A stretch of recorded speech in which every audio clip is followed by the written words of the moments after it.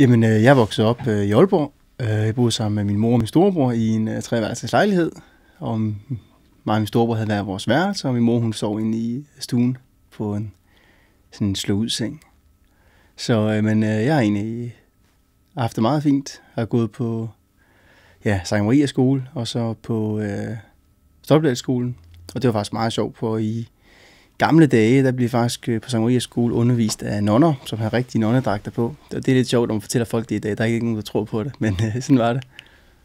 Jo, men altså, det er jo ikke nogen hemmelighed, at vi har aldrig haft, øh, altså når vi bor øh, tre mennesker i en treværelses, øh, altså vi har aldrig haft mange penge. Altså det er der, øh, altså nogle gange, øh, når man kommer efter sommerferien, så hvor folk er inde på ferie, jamen, de har været på charterferie, de har været i Tyrkiet og Grækenland og sådan noget. Nå, okay, vi har så været på hjemme i Sønderborg. Det var måske ikke det fedeste at fortælle om. Så øh, altså det ene sted, så, øh, altså jeg startede med at arbejde også, da jeg var 11. Det må man så ikke længere med at samle øh, skis ude i Tivoli i Aalborg. Øh, så har jeg egentlig arbejdet, øh, ja, lige siden faktisk. Øh, så jeg har altid egentlig sagt med, altså øh, jeg vil, øh, jeg vil gerne have råd til nogle ting. Ikke? Man vil gerne have, hvad hedder det, sen lægger bilen, sen lægger motorcykel eller et hus eller sådan noget. Det vil man gerne have godt tænke sig at få. Jamen så sige, jeg tror sgu ikke på, at jeg vinder lotto.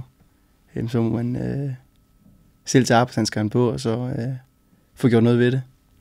Hvorfor var det vigtigt for dig at få den rigtige bil? Øh, jamen, jeg interesserer mig for biler, og jeg interesserer mig for motorcykler. Øh, så, så tror jeg mere og mere ligger der i det. Så, så er det selvfølgelig nogle gange lidt ærgerligt, at man bor i Danmark, hvor man skal... Staten har det fantastisk tilbud, man kan betale for tre og få en, men altså, øh, så er der så mange andre ting, der er okay. Så øh, jamen, så sådan er det.